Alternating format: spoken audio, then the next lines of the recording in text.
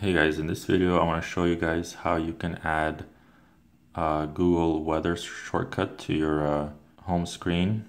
So this is quite easy and all you have to do is just click on the Google search right here. So in this search type in weather and your location where you want the weather for and search for that. So once you search for that, over here, just click on the three dots and click add a home screen shortcut. So this will add a shortcut to your screen that looks like this and whenever you want to see the weather you just click on it